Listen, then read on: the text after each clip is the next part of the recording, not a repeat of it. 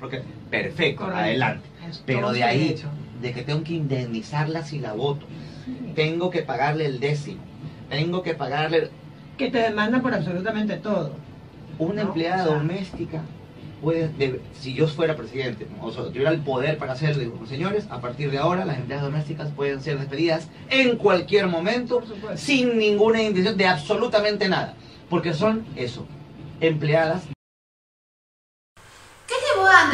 Pelachini a sacar estas conclusiones acerca de los roles de la mujer y aquellas mujeres que se dedican a estas actividades domésticas? ¿Es realmente Andrés Pelachini culpable de la marginación del trabajo doméstico y las mujeres? ¿O simplemente es el reproductor de un discurso en un sistema dominante e ideológico en nuestro país? A continuación analizaremos los modelos sociales que articulan los roles de género en nuestra sociedad desde la colonia hasta nuestros días. Y cómo estos modelos dominantes han generado desigualdad en distintos espacios públicos. Antes de la conquista española, la división entre hombres y mujeres no existía. Cada uno era importante dentro de sus comunidades, al igual que su opinión en la toma de decisiones. Claro que cada uno realizaba diferentes funciones, Mientras la mujer cuidaba de sus hijos y de la alimentación de toda la comunidad, los hombres se dedicaban a la casa y mantenían contacto con las aldeas vecinas. Entonces, antes de la colonización, no existía la división jerárquica por género. Rita Segato llama a esta relación social precolonial como dualismo, en donde el hombre y la mujer no se diferenciaban por género, sino por funciones. Tras este primer contacto con los colonizadores, pasamos del mundo preintrusión a la colonia. En esta nueva etapa en América Latina se empieza a configurar una nueva forma de dominación binaria. Aníbal Quijano menciona que en la colonia se da esta nueva división, pero ahora con la idea de modernidad y racionalidad, cuyo eje central fue la clasificación social de la población sobre la idea de raza. Esta idea supone la dominación colonial en la que los colonizadores clasificaron por rasgos fenotípicos como el color de la piel y otros factores que también influenciaron en la división racial del trabajo, donde las mujeres no blancas eran subordinadas y explotadas. Estas ideas fueron instauradas a nivel global mediante la expansión del capitalismo.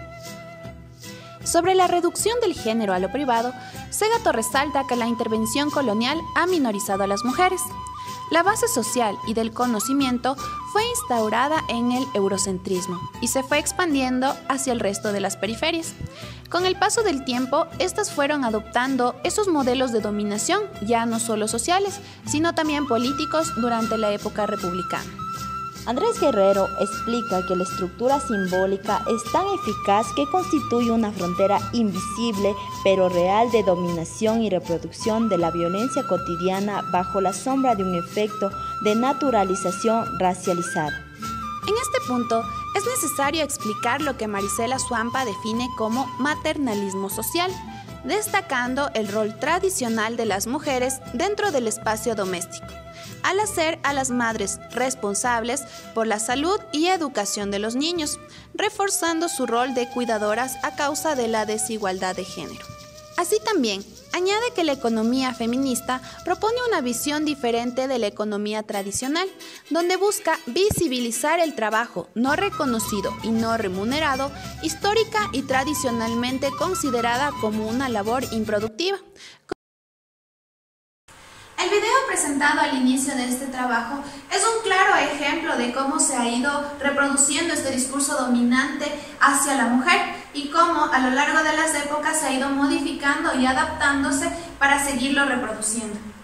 Estas estructuras de dominación escritas por las élites lo que buscan es el posicionamiento y el apoderamiento de su interés, tanto político, económico y social, con la finalidad de seguir excluyendo a los grupos vulnerables y oprimidos como son los indígenas, las mujeres. En, en este caso es necesario reflexionar acerca de la problemática social y no mantener